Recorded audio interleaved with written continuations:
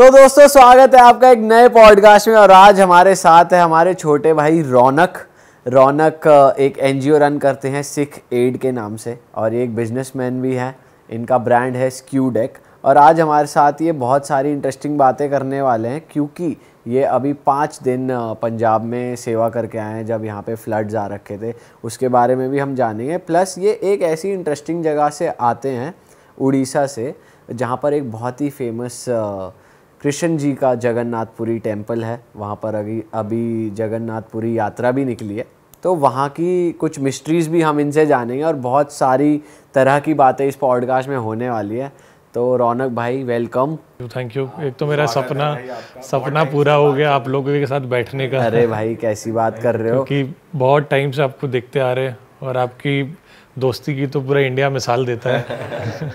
तो बहुत अच्छा लग रहा है यहाँ पे आके। भाई आप इतनी अच्छी पवित्र जगह से आते हो और आप इतना अच्छा काम भी करते हो तो आप जैसे लोगों का तो हम वेट करते हैं कि भाई ऐसे लोगों के साथ बैठे हम भी कुछ सीखें और हमारी ऑडियंस के लिए भी कुछ नया कुछ अच्छा वैल्यूएबल निकल के आए। बिल्कुल आपने तो शुरू से सपोर्ट किया है चाहे वो सिखेड हो चाहे वो मेरा ब्रांड हो आप लोगों ने तो हमेशा सपोर्ट किया ही है। भाई कुछ हो जाए वहाँ की मिस्ट्री जगन्नाथ की कुछ बढ़िया। मैं बिलोंग करता हूँ कटक से जो पूरी से अराउंड एटी किलोमीटर्स दूर है।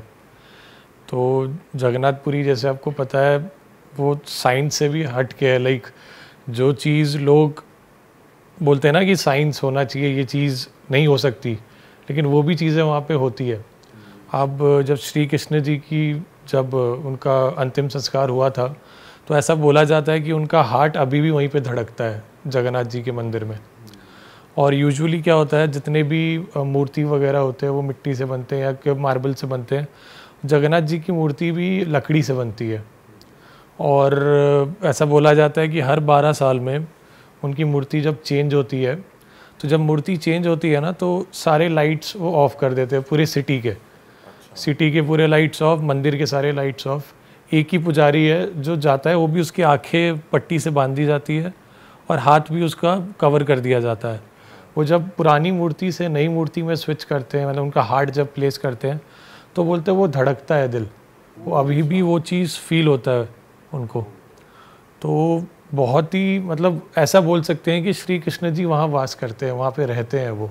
और इसमें कितना टाइम लगता है? लाइक पूरे टाउन की लाइट्स ऑफ़ होती हैं तो जी। ये प्रैक्टिस कितने टाइम की होती है पूरी जो किया जाता ये है? दो मतलब दो घंटे का प्रोसेस होता है। अच्छा। दो घंटे के लिए पूरे शहर की लाइट बंद कर दी जाती है और जो मंदिर है मंदिर की भी सारी लाइट्स बंद कर दी जाती है और एक ही पुजारी रहेगा अंदर जो चेंज करेगा।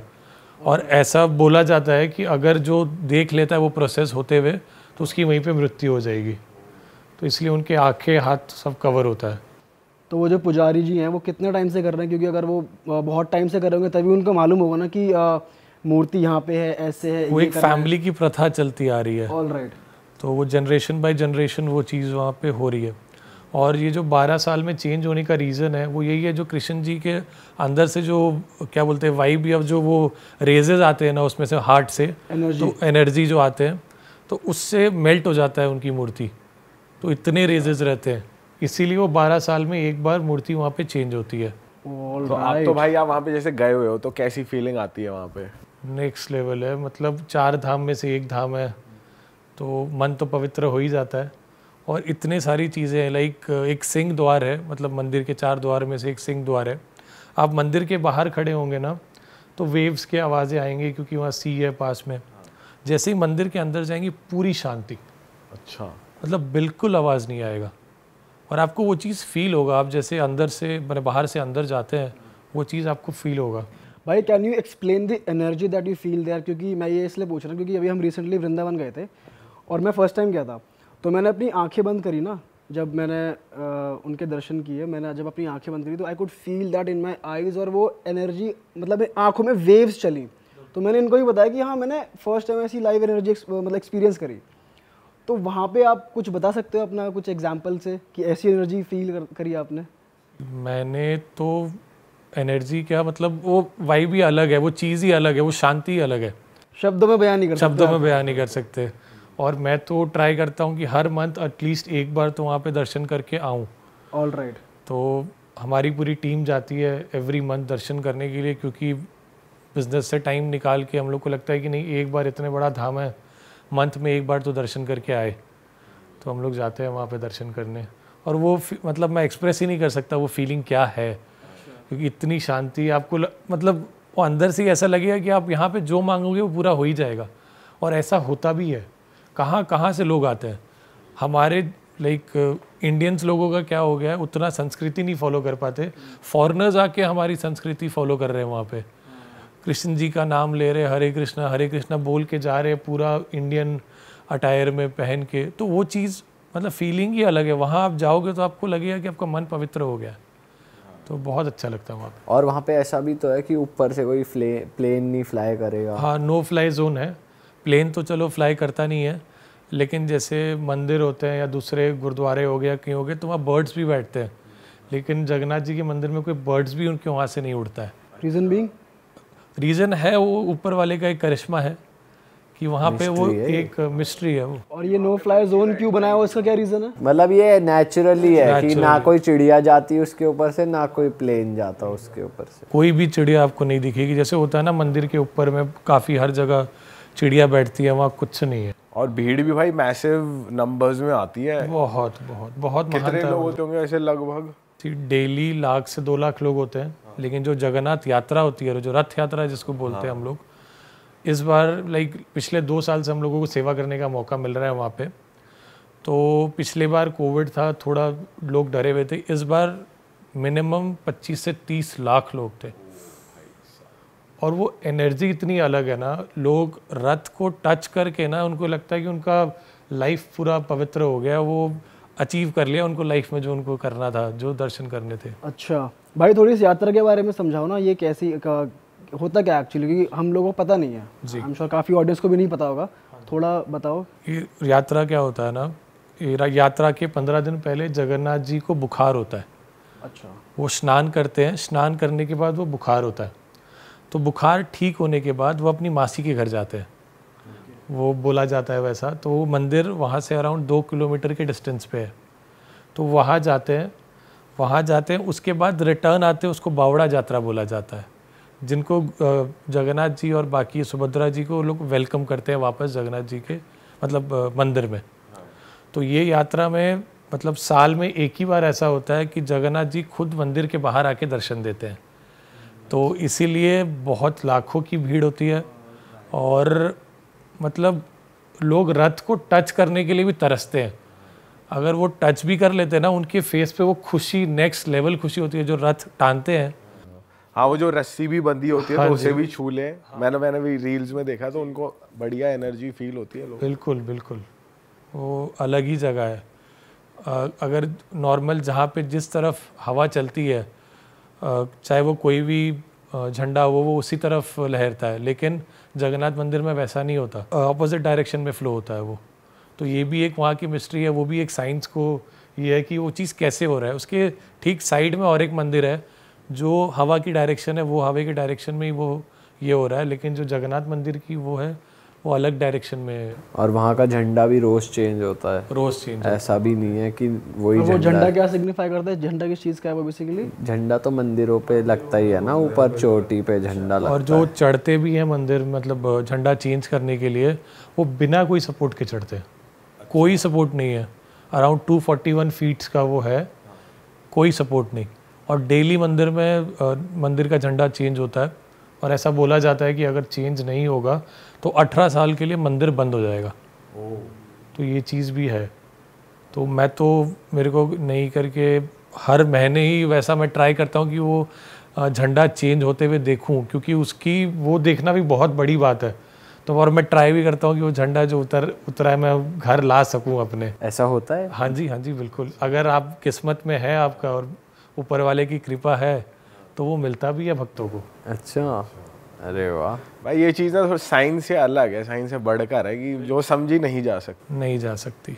और जैसे वहाँ भोग बनता है छप्पन भोग जिसको हम लोग बोलते हैं प्रसाद बोलते हैं मंदिर में उसके ना आठ लेयर्स होते हैं। ऑब्वियसली जो लेयर्स है नीचे से ही पहला पकेगा लेकिन वहाँ पे सबसे पहले ऊपर वाला पकता है। फिर नीचे स्टेप बाय स्टेप वो नीचे वाला पकता है। और जितना वहाँ पे सोचो प्रसाद कभी भी वहाँ कम नहीं पड़ता है। अगर अस्सी हज़ार लोग हैं तो अस्सी हज़ार लोगों का वहाँ रेडी रहता है। अगर लाख लोग आते हैं दर्शन करने तो लाख लोगों का रेडी रहता है और कभी भी एक्स्ट्रा भी नहीं बचता है। कभी भी खाना भी वो वेस्ट नहीं होता वो भी एक हट के चीज़ है। खाना वेस्ट तक नहीं होता ना ज़्यादा होता है ना कम होता है। तो वो भी एक बहुत बड़ी चीज़ है। बहुत बड़ी मिस्ट्री है ये। ये जो साइंस के वो बनते हैं ना कि साइंस ही साइंस है उन्हें जाके देखना चाहिए। साइंस नहीं समझ पा रही तो मैं अभी नहीं समझूँगा। बिल्कुल। वो लोग नहीं समझ पाएँगे इस चीज़ को। सही बात है भाई। भाई तो अब आपकी ज़रा एनजीओ जर्नी को जानते हैं।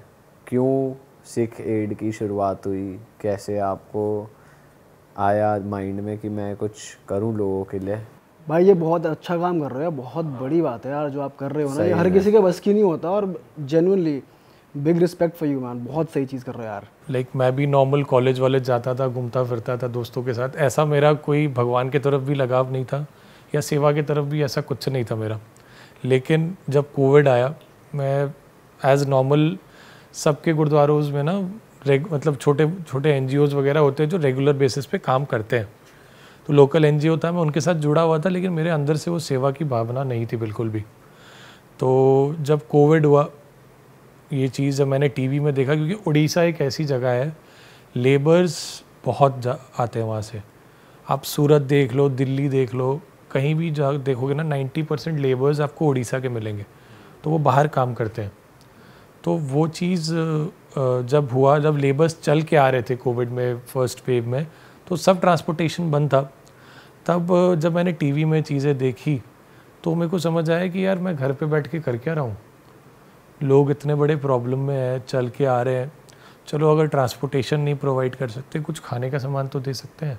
कुछ तो कर सकते हैं इनिशिएटिव तब माइंड में आया कि चलो सेवा करते हैं। न, तब ना सिखेट का मेरे माइंड में कुछ था। ना मैंने नाम सोचा था, खा कि जाके बस लोगों की हेल्प करते हैं। तो मेरे एक भैया है सब्बीर भैया जो इसके को फाउंडर भी हैं। तो उनके साथ मैं तब मिला। तो तब भी इंस्टाग्राम से ही हम लोग मिले। ज़्यादा डिस्टेंस भी नहीं है अराउंड 20-25 किलोमीटर के डिस्टेंस में रहते हैं। तो मैंने उनको देखा कि वो भी सेवा कर रहे हैं। तो मैंने उनको कांटेक्ट किया मतलब भैया साथ में मिलके करते हैं। तब हम लोगों ने वाटर बॉटल डिस्ट्रीब्यूट करने से शुरू किया। अच्छा। तब जब शुरू किया तब ऑन अ डेली बेसिस दस हज़ार पानी बॉटल हम लोग डिस्ट्रीब्यूट करते थे। और ऐसा नहीं था कि एक लोकेशन पे। हम लोगों ने वैसा सिस्टम कर लिया था पुलिस वालों के साथ मिलके लोकल अथॉरिटीज़ के साथ मिलके कि हर जगह कैंप लगा दे। दस किलोमीटर के डिस्टेंस में पंद्रह किलोमीटर के डिस्टेंस में एटलीस्ट पानी तो पहुँचे और थोड़ा बहुत रिफ्रेशमेंट तो पहुँचे क्योंकि इतनी गर्मी मई के टाइम मार्च में लार्च में लॉकडाउन हुआ मार्च में। तो वो चीज़ हम लोगों ने ट्राई किया एटलीस्ट हम लोग पानी पहुँचाए। जब लोगों का सपोर्ट आना शुरू हुआ क्योंकि होता है ना आपको एक मोटिवेशन चाहिए। लोग देखते हैं आपको काम करते हुए तो लोगों ने अप्रिशिएट करना शुरू किया। लोगों ने सामान भेजना शुरू किया कि आप हमारे तरफ़ से ये दे दीजिए वो दे दीजिए। तो हम लोगों ने फिर वो फुल फ्लो में लॉकडाउन में सेवा किया। तो उसी बीच हमने सोनू सूद से भी मिले। अच्छा। तब सोनू सूद जी वहाँ से मुंबई से लोगों को भेज रहे थे लेबर्स को। तब हम लोगों ने उनके साथ मिलके भी काफ़ी काम किया। अराउंड डेढ़ दो महीना हम लोगों ने काम किया उनके साथ। प्लस जब लेबर्स आ गए यहाँ पे तो भी सोनू सर टच पे थे हमारे कि वहाँ पे लेबर्स को कोई चीज़ की नीड तो नहीं है। उनके बच्चों को कोई चीज़ की नीड तो नहीं है। उन्होंने अराउंड सौ, डेढ़ सौ टैबलेट्स भेजे बच्चों को घर पे पढ़ने के लिए। हमारे से डिटेल्स ली पूरी कहाँ कहाँ हम लोग कर सकते हैं। बहुत बड़ी चीज़ है यार ये सोनू सर ने बहुत सही काम किया उस टाइम बहुत सही बहुत सही। उनको देख के एक्टर कर रहा है भाई? किसी को भी देख लो इतना बढ़िया नॉन एक्टर की बात नहीं है भाई मतलब नहीं उनकी फ़ील्ड से देखा जाए तो ज़्यादा लोग नहीं कर रहे। हाँ। वाली बात है। तो उनको देख के हम और ज़्यादा मोटिवेट हो गए कि यार जब ये बंदा जो सारा दिन एसी में रहता है शूटिंग्स करता है वो इतनी गर्मी में खड़े होके लोगों को भेज रहा है अपने घर अरेंजमेंट्स कर रहा है तो हम लोग यहाँ पे क्यों बैठे हुए हैं? हम लोग तो यार वैसे भी नॉर्मल बिना एसी के भी इधर उधर हो सकते वो तो यार लाविश लाइफ जीते हैं अपनी पूरी। सही बात। तो इतने गर्मी में लोगों की हेल्प कर रहे हैं तो वो देख के हम और मोटिवेट हुए वो इंसान अच्छे हैं पता है ह्यूमैनिटी की बात है वो इंसान बहुत अच्छे हैं। बहुत बहुत। तो हम लोगों ने तब शुरू किया पानी वगैरह बांटा लॉकडाउन थोड़ा ओपन अप हुआ। तब हम लोग के माइंड में आया कि यार कुछ करते हैं। नॉर्मल ज़िंदगी सब जीते हैं। लाइफ का कोई पर्पस होना चाहिए। रैट रेस में सब भाग रहे हैं सब पैसे के पीछे भाग रहे हैं सब बड़े बड़े गाड़ियों के पीछे घर के पीछे भाग रहे हैं लेकिन लाइफ का कोई ऑब्जेक्टिव नहीं है। आज अगर मैं मरूँगा तो मेरा कार मेरे साथ नहीं जाएगा मेरा घर मेरे साथ नहीं जाएगा। अगर मैंने कोई अच्छा कर्म किया होगा ना तो आप जैसे भाई मेरे को एटलीस्ट एक बार याद तो करेंगे कि यार वो बंदा सही था सेवा करता था। सही बात है। तो वो चीज़ सोच के हम लोगों ने सोचा कि यार कुछ ऑब्जेक्टिव है लाइफ का उसको पूरा करते हैं। सिर्फ़ ये चीज़ों पे नहीं भागते हैं। तो हम लोगों ने टीम बिल्डअप की, नाम सोचा। वहाँ से फिर शुरुआत होती है सिखेड़ की। तो जैसे ही सब चीज़ कोविड का ओवर हुआ उड़ीसा में हिट करता है साइक्लोन 2020 में साइक्लोन हिट करता है। हम लोगों ने पहले भी साइक्लोन के प्रोजेक्ट्स किए हुए हैं, लेकिन मेरे लिए एज अ लीडर वो पहला प्रोजेक्ट था। और लोगों के माइंड में होता है ना कि यार ये तो बच्चा है, इक्कीस बाईस साल का है, ये क्या सेवा करेगा? क्योंकि जनरेशन को सेवा के बारे में कोई नॉलेज ही नहीं है। आज स्कूलों में साइंस पढ़ाया जाता है मैथमेटिक्स पढ़ाया जाता है सोशल रिस्पॉन्सिबिलिटी को इग्नोर किया जाता है। आपका रिस्पॉन्सिबिलिटी क्या है टुवर्ड्स सोसाइटी वो कोई नहीं पढ़ाता है। अगर पढ़ाते भी है तो बच्चे इंटरेस्ट नहीं लेते और टीचर्स भी इतना इंटरेस्ट देते नहीं है। तो हम लोगों ने फिर वहाँ फ्लड पे काम करना शुरू किया और लोगों के माइंड में ये था, ये बच्चा कुछ नहीं करेगा, ऐसे ही है, एक दिन, एक दो दिन का है फेम के लिए कर रहा है। एक बार भाई बताओ वहाँ पे क्या रियल सिचुएशन थी उस टाइम जब हम लोगों ने शुरू किया कोविड जब इसका काम करना फ्लड का हम लोग पूरी के पास ही एक एरिया है नीमापाड़ा नाम का एरिया है। एक एक मंजिल घर डूबी पड़ी है। और वो है मेरा पहला एक्सपीरियंस मैं पहले भी गया हूँ लेकिन पहले ऐसा होता था ना मम्मी घर से बोल के भेजती थी कि पानी में मत जाना क्योंकि 19-20 साल का लड़का थोड़ा मेरे को भी डर होता था। तो अब मैं एक प्रोजेक्ट खुद लीड करके जा रहा हूँ। मेरे साथ टीम जा रही है। अगर मैं वहाँ मैं खुद डरूँगा तो लोग मेरे मेरे साथ जो जा रहे हैं वो कैसे काम करेंगे? तो जब मेरे मैं भी देखा मेरे को भी पानी से डर लगता है। मैं भी डर गया यार इतने लोग पानी में सब छत पे बैठे हुए हैं और लाइट्स नहीं है खाना नहीं मिल रहा दो दिन हो गए। तो हम लोगों ने एनडीआरएफ के साथ मिल उनको पहले कुकड फ़ूड पहुँचाने का ट्राई किया। तब से हम लोग नेचुरल डिज़ास्टर्स में काम करना शुरू किया और लोगों पे क्या ना माइंडसेट एक होता है कि पानी तो है, एक दिन, दो दिन छत पे रहेंगे, निकल जाएँगे। लेकिन वो चीज़ उनको कैसे इम्पैक्ट करता है? आज टाउन में अगर पानी आए ना तो टाउन पे क्या होता है, आपका घर डूबा, चला गया, थोड़े बहुत घर के सामान ख़राब हो जाएँगे, वो भी आप रिकवर कर लेते हैं। आज अगर कोई गाँव में आ रहा है, उसकी फ़सल ख़राब हो रही है उनके साथ जो उनके एनिमल्स रहते हैं, गाय रहते हैं, भैंस रहते हैं, वो उनको इम्पैक्ट हो रहा है डिज़ीज़ फैल रहा है। कितनी ही चीज़ें उसके साथ अटैच्ड है। तो जब मैंने शुरू किया, मैं जब फ्लड में गया, खाना वगैरह बांट दिया हम लोगों ने तो दो दिन, तीन दिन हमारा वो प्रोजेक्ट चला। उसके बाद हम भी आ गए तो मैं थोड़ा ये हो गया सोचने के लिए, यार अभी उनकी सिचुएशन कैसी है? अभी वो कैसे रह रहे हैं? कितने लोगों के तो कच्चे घर है। उन्हों, उनको तो उन्होंने साइड में करके रिप्लेस किया जगहों में। उनके तो घर भी ख़राब हो गए होंगे। तो मैं फिर गया सर्वे करने। क्योंकि मेरे को भी फ़र्स्ट एक्सपीरियंस है ना मेरे को भी उतना नॉलेज नहीं है कि फ्लड के बाद क्या इम्पैक्ट होता है। हम लोगों ने तो कर दी सेवा। वाह वाही लूट ली लोगों की। हाँ यार ये लोग जाके पानी में आए हैं आधे आधे कमर तक पानी था ये लोग सेवा करके आ गए लेकिन जब बाद में गया सिचुएशन तो और ज़्यादा ख़राब। लोगों को जो गाय थी, बाकी सब चीज़ें थी जिन्होंने अपना फार्म खोल के रखा हुआ है, सब खराब हो गया। कितने गाय की गाय और भैंसों की डेथ हो गई है, फ़सल ख़राब हो गई है। गवर्नमेंट से हेल्प मिलती है ज़रूर, लेकिन वो हेल्प मिलते मिलते वो इतना टाइम हो जाता है कि फार्मर्स भी फ्रस्ट्रेट हो जाते हैं। आज गवर्नमेंट भी अपना असेसमेंट करेगी, कितना लॉस हुआ है, कितना नहीं हुआ है, वो अपने अकॉर्डिंगली देगी। जो उनका प्रोसेस है। पर स्लो है उनका हाँ, प्रोसेस लेकिन एज अ फ़र्स्ट एड एक फ़र्स्ट एड पहुंचाना उनके पास कि एटलीस्ट वो लोग अपना फ़सल शुरू कर सके। तो हम लोगों ने फिर वो प्रोजेक्ट पे काम करना शुरू किया। जब वो प्रोजेक्ट पे हम लोगों ने काम किया तो अराउंड 200 घर हम लोगों ने रीबिल्ड किए। अराउंड 75 से 80 लोगों को गाय लेके दी जो उनकी डेथ हो गई थी। वो चीज़ उनका फिर री एस्टैब्लिश उनको फिर अपने पैरों पे खुद खड़ा किया। जो चीज़ मैंने भी कभी नहीं सोचा था कि हम लोग कर पाएँगे। वो लोगों का सपोर्ट ऐसा आया और वो फिर स्टेप बाय स्टेप हम लोग अलग अलग प्रोजेक्ट्स में काम करते रहे। चाहे वो ओडिशा फ्लड्स हो, अभी आपको पता होगा ट्रेन वाला इंसिडेंट हुआ। आप लोगों ने भी काफ़ी सपोर्ट किया था। तो ट्रेन इंसिडेंट में चलो जो न्यूज़ दिखाता है उसके बारे में डिस्कस नहीं करूँगा। लेकिन मैंने खुद अपनी आँखों से देखा है लाइक हम लोग स्पॉट पे पहुँचे तुरंत। वो स्पॉट हम लोग से अराउंड थ्री आवर्स का डिस्टेंस है। मैंने लिटरली में जो छोटा हाथी बोलते हैं ना, जो जिसमें सामान वगैरह जाता है बॉडी फेंकी हुई थी। एक के ऊपर एक और सब डेड सब के सब डेड खून पूरा गिर रहा है, ऐसे लग रहा है कोई रंग गिर रहा है गाड़ी के नीचे से। और लाशों को फेंका जा रहा है।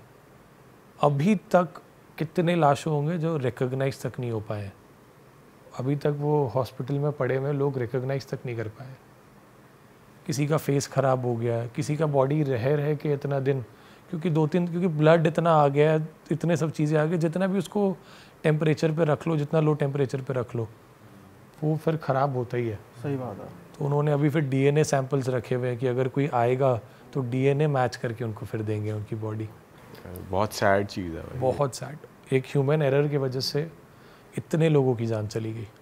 उस पर हम लोगों को काम करने का मौका मिला जब हम लोगों ने लोगों को रेस्क्यू किया। और एक बात है उड़ीसा की, सब साथ खड़े हो जाते हैं, कभी भी जो इशू हो। क्योंकि मैं वहाँ रहता हूँ तो मेरे को पता है, यहाँ का मेरे को नहीं पता। जै, जिस दिन एक्सीडेंट हुआ, रातों रात 900 यूनिट ब्लड कलेक्ट हो गया। रातों रात मतलब खबर मिलते ही, क्योंकि पता है एक्सीडेंट हुए हैं ब्लड की शॉर्टेज होगी। मतलब ब्लड देने के लिए लोग झगड़ा कर रहे थे लिटरली कि मेरी ब्लड ले लो, मेरे ब्लड ले लो। तो रातों रात उन्होंने 900 ब्लड यूनिट कलेक्ट किया। और वो प्यूरे पूरे ड्यूरेशन में, तीन दिन के ड्यूरेशन में सात हज़ार यूनिट ब्लड कलेक्शन हुआ। सो so दैट लोगों को प्रॉब्लम ना हो, जिसको ब्लड चाहिए। तो वो एक साथ सब स्टैंड होके वो सिचुएशन को लोगों ने फेस किया। एंबुलेंस और गवर्नमेंट मेरे मेरे को नहीं लगता कोई भी गवर्नमेंट जैसा उड़ीसा उड़ीसा का गवर्नमेंट काम करता है, कर पाएगा। चाहे वो फ्लड हो, चाहे वो कोई नेचुरल डिजास्टर्स कोई भी हो, और ये ट्रेन वाला इंसिडेंट जो इतनी जल्दी एंबुलेंस अरेंज करना इतनी जल्दी हॉस्पिटल में सब चीज़ करना और इतने जल्दी डॉक्टर्स को वहाँ पे अरेंज करना। और ऐसा नहीं है कि लोगों को बस एडमिट किया और छोड़ दिया। रेगुलर बेसिस पे उनसे मिलना डॉक्टर्स ट्रीटमेंट ठीक कर रहे हैं ना नहीं कर रहे हैं जिनकी डेथ हुई उनको एड प्रोवाइड करना। देखो जिसका डेथ हुआ है उनके साथ तो और कुछ किया जा नहीं सकता लेकिन एटलीस्ट उनको हौसला तो दिया जा सकता है पैसा दे के सही बात है। तो हम लोगों ने भी फिर वहाँ पे काफ़ी व्हील चेयर्स वगैरह डिस्ट्रीब्यूट किया रिफ़्रेशमेंट्स वगैरह डिस्ट्रीब्यूट किया। जो फैमिली वहाँ से आना चाहते थे, उनके लिए फिर हम लोगों ने टिकट्स किया एंबुलेंस से उनको वापस भेजा। क्योंकि ज़्यादातर लेबर्स ही थे। जो कनेक्ट करता है ना एरिया चेन्नई और कैलकटा और कैलकटा और उड़ीसा वो सब लेबर्स वाले एरिया लेबर्स ही आना जाना करते हैं। आपके पास रिजर्वेशन का लिस्ट रहेगा, कितने जन रिजर्वेशन में आ रहे हैं। वो तो लेबर्स है, वो तो जनरल बोगीज में आ रहे हैं। वो तो पैक्ड है, वो तो हिल नहीं सकते हैं। तो सोचो, वहाँ पे कितनी डेथ्स हुई होगी। वो चीज़ों पे भी हम लोगों ने काम किया है। बट काफ़ी एरियाज़ हैं आप बता रहे थे कि जैसे फ्लड्स आए थे तो गवर्नमेंट का आ, की आ, जैसे आप कह रहे थे ना कि गवर्नमेंट को वहाँ तक पहुँचने में बहुत टाइम लग जा रहा था। देर इज़ अ गैप कि वो आ, बहुत टाइम लगा रहे थे फ़र्स्ट एड पहुँचाने में आ, किसानों को जिनकी जहाँ पे गाय भैंस मर चुकी थी। तो ये जो गवर्नमेंट का जो गैप है ये इतना टाइम लग जाता है तो ये इस पर काम हो रहा है उड़ीसा में आप? सी ये चीज़ क्या है ना जिसको नहीं भी चाहिए होता वो भी आ जाता है सामने। तो उनको प्रॉपर असेसमेंट करना पड़ेगा। उनको असेसमेंट करने में टाइम लगता है, वो हेड ऑफ़िस से ऑर्डर आएगा, फिर नीचे जाएगा, फिर नीचे जाएगा, फिर वो सर्वे करेंगे, फिर वो रिपोर्ट करेंगे। तो वो कोई भी गवर्नमेंट बॉडी हो, उनको टाइम तो लगेगा। अब हमको तो किसी को रिपोर्ट नहीं करना है। हमको बस लोगों तक पहुँचना है। एज हम लोग फ्लड के टाइम पे काम करते हैं, अब तो ऐसा हो गया, पता ही चल गया कि क्या इम्पैक्ट होगा और कैसे क्या होगा। हम लोग सब चीज़ पहले से ही रेडी करके रखते हैं। अभी पंजाब फ्लड्स में हम लोग काम कर रहे हैं। पंजाब फ्लड्स लाइक जब पहले आया था अराउंड 2018 में 17 में, तब तो हम काम नहीं करते थे, हमको पता नहीं था। हम लोग बस, हम लोगों ने बस सुना था, पापा, मम्मी कहते थे कि बहुत ज़्यादा इम्पैक्ट हुआ है। अभी जब हम लोगों ने देखा है मतलब ऐसा कोई जगह नहीं था, जो कोई पिंड नहीं था, जब फ़र्स्ट इनिशियल स्टेज पे जो पानी के अंडर नहीं था। सिटीज़ तक डूब गई है। पटियाला पटियाला में लाइक मेरे भाई का ऑफ़िस है, मैंने, पहले हम लोग वहाँ गए देखने के लिए। कि क्या सिचुएशन है एटलीस्ट पहले टाउन में तो देखे क्या सिचुएशन में हेल्प कर सकते हैं लोगों की। एक एक मंजिल घर डूबी पड़ी है। और मेन मेन एरिया में ऐसा नहीं है कि पटियाला के आउटर एरिया में या कुछ है तो बहुत ज़्यादा इम्पैक्ट हुआ वहाँ पे। अच्छा भाई कोविड में ना काफ़ी एन जब थे जब कोविड हुआ था उस टाइम ना काफ़ी एन के बारे में न्यूज़ आ रही थी कि आ, ये लोग ना पैसे रेज करते हैं और लोगों तक फैसिलिटीज़ नहीं पहुँचा रहे हैं। जैसे उस टाइम ऑक्सीजन सिलेंडर की बहुत ज़्यादा कमी हो गई थी। तो ऑडियंस को भी ना उस टाइम के बाद से जज करना बहुत मुश्किल हो गया था कि यार मैं एनजीओ के लिए एन को डोनेट करूँ तो ये कहीं गलत जगह तो नहीं जा रहा मेरा पैसा। तो ऑडियंस कैसे फिगर आउट करे कि हाँ this is the right NGO to donate money to COVID के बाद ये चीज़ें काफ़ी हो गई है कि बहुत सारे एन खुले और ये टैक्स बचाने का भी बहुत अच्छा स्कैम है। हाँ। हमारे पास भी ऑफर्स आते हैं। हाँ इस बारे में भी बात करेंगे। पहले आप ये बताओ कि राइट एनजीओ तक कैसे पहुँचे एक आम आदमी? अपना पैसा कैसे डोनेट करें बेसिकली अब हम लोगों ने जो सिस्टम कर दिया है हम लोग अब ज़्यादा फंड रेज करते ही नहीं है। आप कुछ व्हील चेयर देना है व्हील चेयर दे दो हम डिस्ट्रीब्यूट कर देंगे। आपको राशन देना है अब राशन किट हमको बना के दे दो हम डिस्ट्रीब्यूट कर देंगे। अगर आप आपको कोई अभी जैसे हम लोगों ने पंजाब फ्लड में काम किया एक बंदा था कि भाई हम लोग को ना 2000 राशन किट डिस्ट्रीब्यूट करने हैं। हम लोगों ने एरिया लोकेट कर दिया भैया आप साथ में चलो हम लोग दे के आते हैं।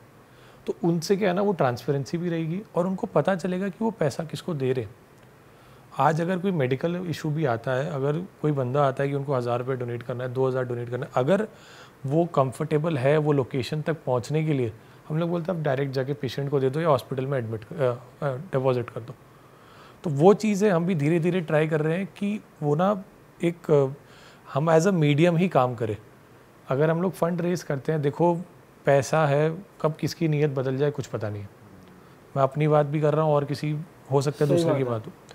तो हम लोग वो एक ऐसा प्रोसेस शुरू करने का ट्राई कर रहे हैं कि ना पैसे लेंगे ना कोई चीज़ लेंगे एक ज़रिया बन के हम लोग एक दूसरे को मिला देंगे। आपको हेल्प चाहिए और आपको हेल्प करनी है आओ मिल लो लोगों की हेल्प कर लो। तो वो चीज़ एक वे हम लोग ट्राई कर रहे हैं कि एटलीस्ट वो एक ट्रांसपेरेंसी बहुत ज़्यादा बढ़ जाएगी उसमें। बट एक पॉइंट के बाद रहेगा ना कि हाँ फंड रेज भी करें ताकि अक्रॉस द कंट्री से हमको फंड आए और फिर आपकी आप और ताकि कभी कोई इमरजेंसी हो तो आपके पास फंड्स रहें हेल्प कर। वो तो देखो ट्रस्ट पे ही काम चलता हाँ। है। और हमारा तो ऐसा है हम अपना बैलेंस शीट वेबसाइट पे अपडेट कर देते हैं। अच्छा। तो लोगों को डाउट ना हो लोग देख ले कितना खर्चा हुआ है कहाँ खर्चा हुआ है। ये बहुत बढ़िया चीज़ कर रहे हाँ हो ये ठीक किया। तो हम लोगों ने वेबसाइट वेबसाइट पे बैलेंस शीट ही अपलोड कर देते हैं every year plus team members में भी ना वो चीज़ आ जाती है। कहीं ना कहीं पे पैसों की बात पे वो भी आ जाती है कि कौन कहाँ यूज़ कर रहा है क्या नहीं। तो हम लोगों ने टीम में भी वो पासवर्ड वाला सिस्टम किया हुआ है। सिर्फ़ जितने इनिशियल टीम मेंबर्स हैं वो लॉग इन करके देख सकते हैं कितना फंड है कितना खर्चा हो रहा है कहाँ खर्चा रहा हाँ, देखो please don't take it otherwise हम आप पे डाउट नहीं कर रहे हैं। बिल्कुल भी उसको इस तरीके से मत लेना। ये सब क्वेश्चंस मैं इसलिए पूछ रहा हूँ क्योंकि ये हमने भी बहुत सुना था कि फेक एनजीओ आ गए थे पैसा उठा रहे हैं हेल्प नहीं कर रहे है। ये जनरल हो रहा है अभी भी। और कोविड के बाद तो ये बहुत ज़्यादा बढ़ गया। और हम लोगों ने शुरू शुरू जब शुरू किया तो नए थे हम लोग। लोगों को पता ही नहीं था हम लोग क्या कर रहे तो लोग ऑटो वैसे भी डोनेट नहीं करेंगे। तो ये ट्रांसपेरेंसी करने के बाद लोगों के बीच में एक ट्रस्ट आया कि हाँ ये सही काम कर रहे हैं और इनका पैसा कहाँ लग रहा है, वो भी पता चल रहा है। ये फाइनेंशियल ईयर से हम लोगों ने तो ऐसा किया है कि कोई अगर पर्टिकुलर प्रोजेक्ट में डोनेट कर रहा है ना, वो प्रोजेक्ट की रिपोर्ट भी हम उनको भेजें वाया व्हाट्सएप कि उनको पता लगना चाहिए। फॉर एग्जांपल अभी हम लोगों ने जगन्नाथपुरी में जो हुआ हमारी सेवा, वहाँ पे हम लोगों ने रिफ़्रेशमेंट्स बांटे थे। पानी बॉटल्स वगैरह हो गए, बाकी सब चीज़ें होगी बांटी थी। तो जो पैसे आए, हम लोगों ने कितना फ़ंड रेज किया, कितना सामान आया और कितने लोगों को हम लोगों ने बेनिफिट किया वो चीज़ों से, जो डोनेशन वो पर्टिकुलर कॉज पे आया, हम लोगों ने सबको व्हाट्सएप कर दिया। वो लोग देख पाएँगे कि हाँ इतने पैसे आए, इतने बचे। अभी जैसे हम लोगों को पंद्रह लाख रुपए रेज हुआ फॉर जगन्नाथपुरी के सेवा के लिए। हम लोगों ने दस लाख लगाए। वो पाँच लाख हम लोगों ने सेव कर दिया नेक्स्ट ईयर के लिए। जो पर्टिकुलर कॉज के लिए डोनेशन आता है, हम लोग वही कॉज के लिए यूज़ करते हैं। तो हम लोग, आपके मन की श्रद्धा है, आप चाहते हैं कि वो जगन्नाथ मंदिर में जाए, आप चाहते हैं कि वो पेशेंट्स को जाए तो हम लोगों फिर वही प्रोजेक्ट्स में ही हम लोग यूज़ करते हैं। और ये जो स्कैम की बात एनजीओ वाला स्कैम का बात है हम लोगों को रेगुलर ऑफर्स आते हैं। रेगुलर बड़े से बड़ी कंपनी क्या बोलते हैं? थोड़ा बताओ कितना अमाउंट का करवाते हैं? आपको सौ करोड़ हम देंगे। ठीक है।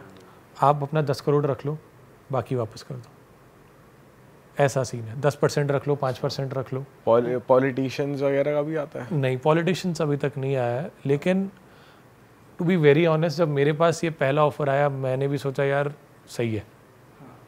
जो फैक्ट है कि यार पैसे मिल जाएँगे, लोगों की हेल्प हो जाएगी। मैंने अपने सीए से बात की, भैया तो ऐसे होता ही है, कोई दिक्कत नहीं है। मैं बोला, यार, होता है तो फिर कर लेना चाहिए। लेकिन जब मैंने अपने पेरेंट्स से बात की, बड़े लोगों से सलाह लिया कि क्या करना चाहिए, बोलता, यार, तू गलत पैसों से लोगों की सेवा करेगा तो वो सेवा का कोई वैल्यू नहीं है। वो स्कैम के पैसे हैं।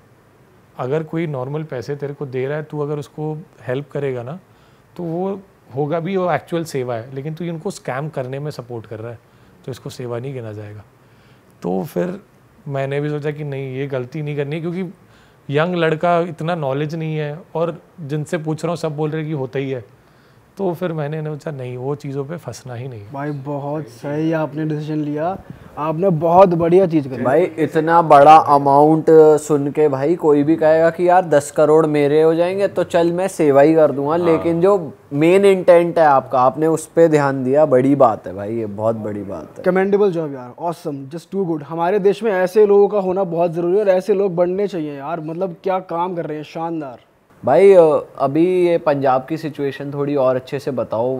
हिमाचल तो पूरा डूबा हुआ है। इस समय वहाँ तक पहुँचना तो मुश्किल है। मुश्किल पंजाब है। में क्या कैसी सिचुएशन है? अभी क्या क्या करा आपने?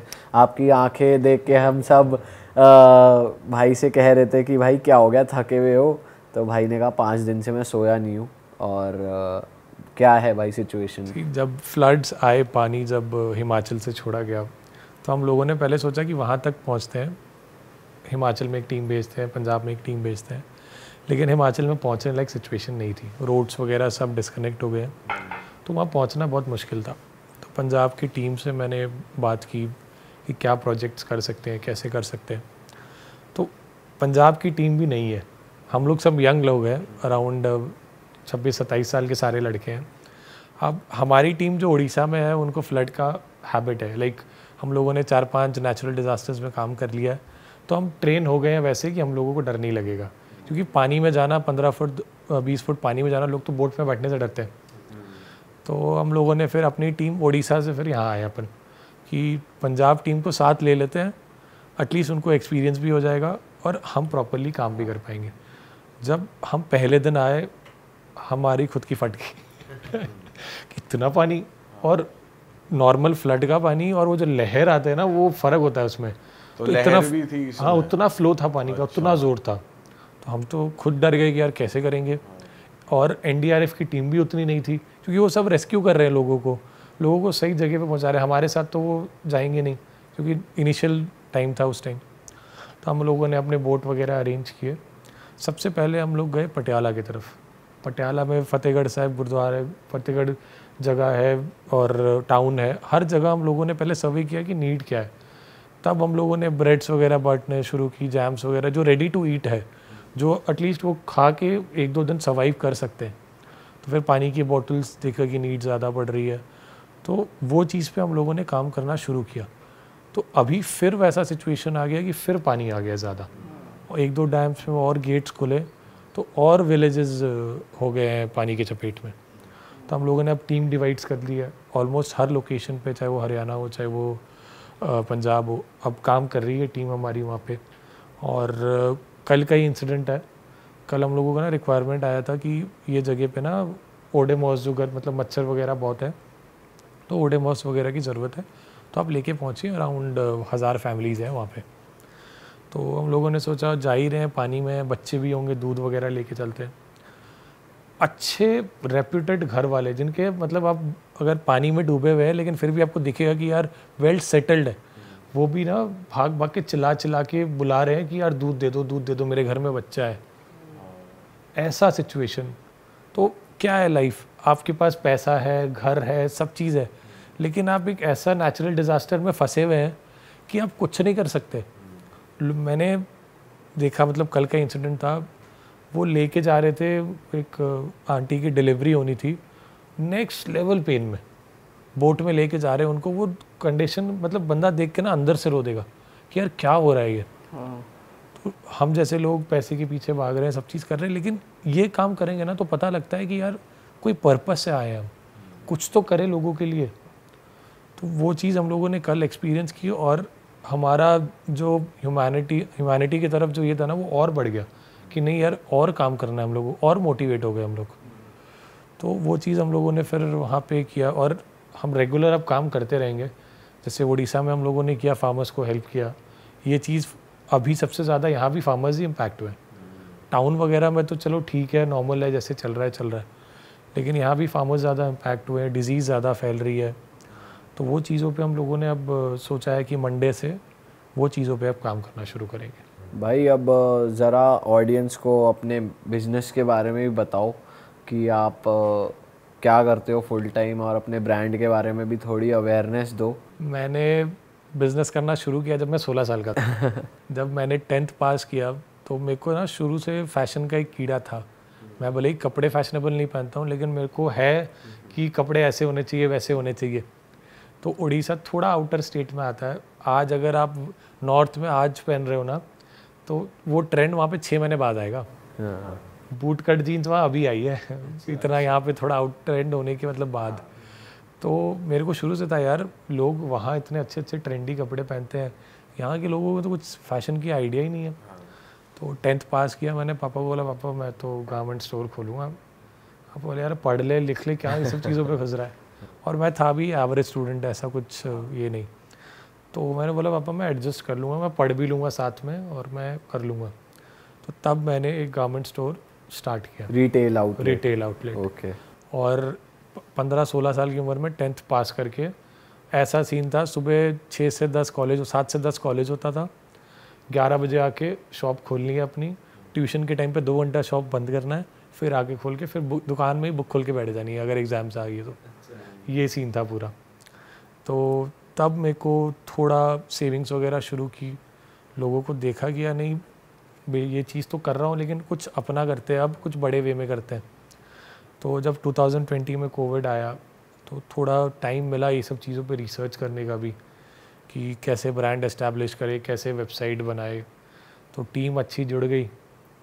तो तब हम लोगों ने शुरू किया स्क्यूडेक और स्क्यूडेक शुरू होते ही वो एक ब्लास्ट था। आज अगर हम लोगों ने पाँच लाख की सेल पकड़ के चली थी ना महीने की वो पंद्रह दिन में पाँच लाख हो गया। ऐसा सीन हो गया पूरा मतलब सबसे प्यार मिला इतना अच्छा प्यार मिला। विंटर में हम लोगों ने लॉन्च किया। तो टीम में हमारी दो तीन जनों की टीम थी। तो वहाँ पे पता चला कि पैसे आने के बाद ना रिलेशन भी रिलेशन नहीं होता। वहाँ पे जब हम लोग ग्रो हुए हम लोगों ने एक फंडिंग राउंड रेस की। तो हमारे पास ना एक बंदा था भाई टाइप ही बंदा था जो ना काम करता था हमारा वेबसाइट वगैरह का। अच्छा। तो हम लोगों ने फंडिंग रेस की फाइव सीआर की ठीक है? ट्वेंटी परसेंट हम लोगों ने डाइल्यूट किया। उस बंदे के पास थे पाँच परसेंट शेयर जो वेबसाइट संभालता था। ज़ीरो इन्वेस्टमेंट कुछ उसका इन्वेस्टमेंट नहीं था। हम लोगों ने बोला तू आ वेबसाइट संभाल ऑनलाइन संभाल फाइव परसेंट ले ले। जब उसने देखा फंडिंग रेज होगी इनको तो ज़्यादा पैसे मिल रहे उसने फिर बोला वेबसाइट डिलीट अरे तेरी। बिज़नेस तगड़ा बिज़नेस चल रहा है वेबसाइट डिलीट हम मेरे को बीस परसेंट दोगे तो मैं काम करूँगा वरना मैं नहीं करूँगा। और वो चीज़ में मैं पूरा नया। अच्छा आप इस बंदे को जानते कितने साल से हो? जानता मैं पाँच साल से हूँ। और भाइयों वाला प्यार है।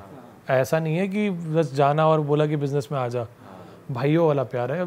फुल उठ बैठ है मतलब रोज मिल कहीं जाना भी है ना अगर कोई बाहर ट्रिप पे भी जाना है तो जो हमारे पाँच जनों का ग्रुप होता था उसमें वो होता ही था। दोस्ती गहरी थी मतलब? हाँ गहरी दोस्ती थी अच्छा बॉन्ड था आना जाना था सब चीज़ बढ़िया था। तो पैसे की वजह से वो रिलेशन ख़राब हो गया। रिलेशन तो ख़राब हुआ बिज़नेस भी ख़राब हो गया। तो तब मैंने एक बात सीखी कि यार जो भी कर लो ऑन पेपर्स करके शुरू करो। तो वो चीज़ है हम लोगों ने फिर अभी फिगर आउट किया टीम प्रॉपर बिल्ड की जो फंडिंग भी रेस की थी हम लोगों ने उसने भी फिर विड्रॉ कर लिया। कि आप लोग यार आप आपस में कलेश है आपके। मैं इन्वेस्ट करूँगा या तुम लोग क्या करोगे? फिर पैसों का। सही बात तो वेबसाइट डिलीट फिर धीरे धीरे अराउंड जनवरी में ये चीज़ हुआ। अब अभी जो समझो जुलाई चल रहा है। वो सेटअप करते करते छः महीने पीछे हो गए हम। समर कलेक्शन जहाँ हम लोगों ने परचेज कर लिया था। जनवरी से हम लोगों की परचेजिंग शुरू हो गई थी। अभी तक हम लॉन्च नहीं कर पाए क्योंकि वो प्रॉपर टीम ही नहीं हो पाई। हम लोगों ने वो ट्रस्ट पे इतना छोड़ दिया था सबके। कि तू वेबसाइट संभाल रहा है ऑनलाइन संभाल रहा है तू संभाल। तू यहाँ पे अकाउंट संभाल रहा है तू संभाल। तू प्रोक्योरमेंट संभाल रहा है तू संभाल। तो सबने मिल के वो स्कैम कर दिया। एक बंदा साइड हुआ सभी साइड हो गए। तो मैं पूरा अकेला वहाँ पे। मेरी इन्वेस्टमेंट लगी हुई है और वो बंदों में से किसी की इन्वेस्टमेंट नहीं लगी हुई थी। आपके कितने लगे हुए थे? मेरे अराउंड पैंतीस लाख रुपए लग गए थे तब। और मैंने फ्रेंचाइज भी बेच दिया था तब। दो फ्रेंचाइज भी मैंने बेच दिया था। लोग इतना डिमांड हुआ, मेरे को लगा यार सही फ्लो में जा रहा है फंडिंग भी रेज हो गई वो एक दिन में सब चीज़ पूरा शैटर हो गया, ख़त्म। तो दो महीने तो मेरे को लग गए वो चीज़ से रिकवर होने में मैं एटलीस्ट वो चीज़ से निकलूँ। तो रिकवर किया वेबसाइट के लिए बंदे प्रॉपर खोजे, और सब अब ऑन पेपर्स किया मैंने। अब किसी के साथ कोई पार्टनरशिप नहीं है। अकेला हूँ सेल्फ मेड हूँ, भले ही कम बेच लूँगा, लेकिन नहीं सही है भाई कलेश तो नहीं होंगे ना। सही बात है भाई दोस्त भी गए और बताओ मतलब बिज़नेस भी गया। हम तो आप सबके अब मतलब क्या बोले एग्जाम्पल्स देते हैं आप सबके बीच में जो प्यार है। भाई। हमारा किसी से बात भी अगर होता है ना फ्रेंडशिप का अगर कोई एग्ज़ाम्पल देता है वो आप सबका होता है। आप सबने शायद अभी बीच में एक फ़ोटो डाला था आपके बचपन की तीनों एक साथ थे। वो भी देख के हम लोगों ने दिखा रहा था मैं अपने भाई को कज़न को कि देख यार इसको बोलते हैं प्यार इसको बोलते हैं दोस्ती। भाई तो इसका मतलब वो दोस्त आपके दोस्त नहीं थे हाँ। जो चले गए। वो थोड़े टाइम के लिए थे जो थे। वो लर्निंग थी भाई बेसिकली लर्निंग थी। और मेरे ख्याल से जो आपका कर्मा है इतने टाइम का अच्छा वो अब फल देगा। और मैं जनता से भी दरख्वास्त करूँगा कि भाई को सपोर्ट करना है हमें। भाई छः महीने पीछे गया है तो अब इसको एक साल आगे लेकर जाना है। तो जैसे ही लॉन्च हो रहा है आपका समर कलेक्शन लिंक हम डिस्क्रिप्शन में ड्रॉप करेंगे। बिल्कुल भाई। भाई आप इतने हार्ड वर्किंग हो यार आप फिर से खड़ा कर दोगे अपना अंपायर कोई बड़ी बात नहीं है बिल्कुल क्योंकि मैं वो चीज़ बिलीव करता हूँ कि आप जितना भी धर्म के पीछे भाग लो पाठ पूजा कर लो कुछ करना है कर लो। अगर आपके कर्म ठीक नहीं है ना तो वो सब वेस्ट है। सही बात है भाई। सब वेस्ट है। भाई बिल्कुल। अगर आपके अच्छे कर्म नहीं है आप लोगों के साथ अच्छे से बात नहीं कर रहे अच्छे से ट्रीट नहीं कर रहे अपने माँ बाप को रिस्पेक्ट नहीं कर रहे सबसे बड़े भगवान तो वो है आपके घर में। सही बात है। आप अगर उनके चरण छू के सुबह निकलते हो ना आप सक्सेसफुल हो गए ही गए। वो भी एक माँ बाप की सेवा भी सबसे बड़ी सेवा है। आज अगर मैं बाहर सेवा कर रहा हूँ और पेरेंट्स के साथ गलत ट्रीट कर रहा हूँ तो वो सेवा का भी कोई और आजकल ये बहुत ज़्यादा है भाई कि लोग नहीं करते ज़्यादा ना रिस्पेक्ट अपने पेरेंट्स की पर करनी चाहिए। वो जनरेशन गैप समझते हैं ना ओल्ड मेंटालिटी समझते हाँ, हैं। ये बहुत गलत चीज़ है। बाहर बाहर बहुत दिखावा करेंगे। कि हमने ये कर दिया वो कर दिया रील के लिए। हाँ। पर घर पे चल रहा है कलेश। पर यार अब बहुत बढ़िया काम कर रहे हो यार। आप करते रहो ऐसे ही काम। बिल्कुल बिल्कुल। हमारा भी सपोर्ट है आपको और हमारी जनता का भी फुल सपोर्ट जनता से दरख्वास्त है। अब अब वेबसाइट लाइव है? वेबसाइट होपफुली जब तक ये आएगा तब तक लाइव हो जाएगा। ये तो बहुत जल्दी आ जाएगा। बहुत जल्दी लाइव हो जाएगा। वेबसाइट वेबसाइट सब रेडी है बस लॉन्च होना है। तो वही डिस्क्रिप्शन में लिंक है। आप जाओ स्क्यूडेक की वेबसाइट को चेकआउट करो। डिस्क्रिप्शन में सिक एड की भी सारी डिटेल्स हैं। ज़रूरी नहीं है यार कि मतलब हम ना सोचते हैं कि यार हम क्या करें क्या करें। तो ज़रूरी नहीं कि आप खुद फ़ील्ड में उतरो पर अगर आपका इंटेंशन है हेल्प करने का तो ऐसे लोग रौनक भाई जैसे लोग हैं जो फ़ील्ड पर उतर सकते हैं जाके पहुँच के ऑन साइट हेल्प कर सकते हैं। तो अगर हम अपने घर से भी इनको सपोर्ट भेजें ना वो भी बहुत बड़ी बात है। और भाई ने हमें यहाँ पर बताया भी कि ज़रूरी नहीं कि आप पैसे से हेल्प करो।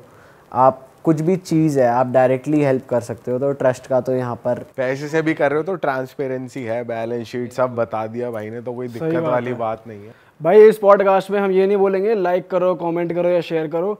इस पॉडकास्ट के ज़रिए भाई को डोनेट करो। हाँ। भाई का जो एनजीओ भाई जो काम कर रहे हैं ना वहाँ पे पैसा पहुँचाओ और लोगों की मदद करो अपनी देश की मदद करो यार मतलब ज़रूरी नहीं है अब अगर आप स्टूडेंट हो कि मैं तो कमाता नहीं मैं कहाँ से पहुँचाऊँ तो भाई सेवा आपके माइंड से आपके दिल से होती है जहाँ चाह होती है वहाँ रहा होती है आप वॉल्टियर कर सकते हो आप ज़रूरी नहीं कि आप सिख हेड में डोनेट करो अपने घर के बाहर जाके किसी को मदद चाहिए उसकी मदद कर दो और ज़रूरी नहीं होता कि भाई एक्सक्यूजेज ढूंढो हर चीज़ में कि ह्यूमैनिटी ज़िंदा रखो बस। मदद करना बहुत ज़रूरी मदद करना बहुत ज़रूरी है। अच्छे इंसान की राह पे चलो। तो रौनक भाई और और कुछ आप कहना चाहते हो हमारी audience words to the camera मैं यही बोलना चाहूँगा कि अच्छे कर्म करो लोगों की हेल्प करो। आज अगर आप किसी की हेल्प करोगे नहीं ना तो ये मत समझना ये मत सोचना कि आपकी भी कोई हेल्प करेगा जब आप प्रॉब्लम में होंगे। अगर आप बीज बोओगे तभी उसका फल आएगा। तो आसपास लोगों की जितनी हेल्प कर सकते हैं करो। अगर आपके घर पे कोई मेड है उसका बच्चा नहीं पढ़ पा रहा उसको पढ़ा दो। आपके घर के साइड में कोई बाबा है जो अपनी मेडिसिन नहीं खरीद पा रहा बच, उनके बच्चे नहीं वेल सेटल्ड है उनको मेडिसिन दिला दो। कुछ ना कुछ करके अपना कॉन्ट्रीब्यूशन टुवर्ड्स सोसाइटी देते रहो। जितना आप सोसाइटी की तरफ़ कंट्रीब्यूट करोगे ना उतने ही और अच्छे लोग आगे आएँगे उतने ही लोग और मोटिवेट होंगे। काम करने के और खुद को भी अच्छा लगता है भाई। मतलब खुद भी सेटिस्फैक्शन होती है कि आपने ऐसा काम किया है। बहुत अच्छा लगता है। ऑसम गाइस मिलेंगे आपसे नए पॉडकास्ट में। टिल देन सारी डिटेल्स आपकी डिस्क्रिप्शन में है। जाओ गो थ्रू करो। और रौनक भाई का इंस्टा भी है इनसे जुड़ो। और स्क्यूडेक को प्यार दिखाओ सिख एड को प्यार दिखाओ इंसानियत को प्यार दिखाओ। और प्यार से रहो। मिलते हैं। Bye bye